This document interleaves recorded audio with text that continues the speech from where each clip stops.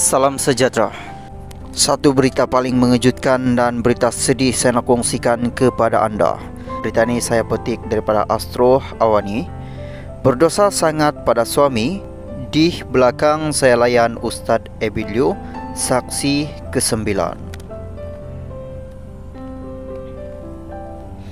Tenom, pengadu dalam kes Ebilio memberitahu mahkamah di sini bahawa dia akan dia ada menghantar mesej kepada pendakwa terkenal itu menerusi aplikasi Instagram dalam kurungan IG.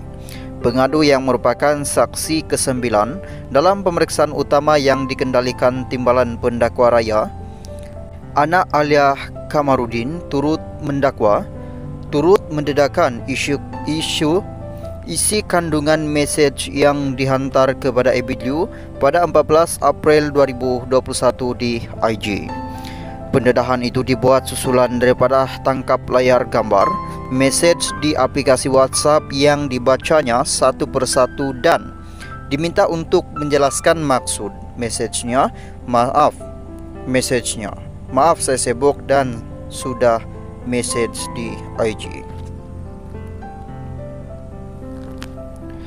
Antara isi kandungan mesej pengadu kepada Ebit Liu ialah pengadu sudah tidak mahu menghubungi pendakwa itu lagi tetapi tidak berasa senang hati kerana rasa berdosa dengan perbuatannya. Berdosa sangat pada suami sebab di belakang dia saya layan, Ustaz.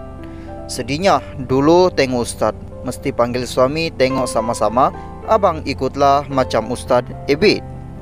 Sekarang sudah kosong kadang tengok terbayang yang bukan-bukan pernah tengok beronani memang menangis dan tidak senang hati katanya di mahkamah menjerit tenom di sini pada Kamis.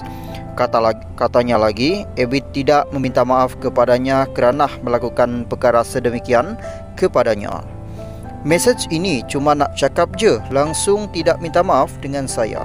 Sebab pernah buat yang tidak sepatutnya dengan saya, paksa saya bagi gambar macam-macam bodohnya saya ikut. Entahlah mungkin pasal saya perempuan dan tidak biasa buat macam tu jadi saya teringat-ingat dan tidak senang hati rasa sangat berdosa.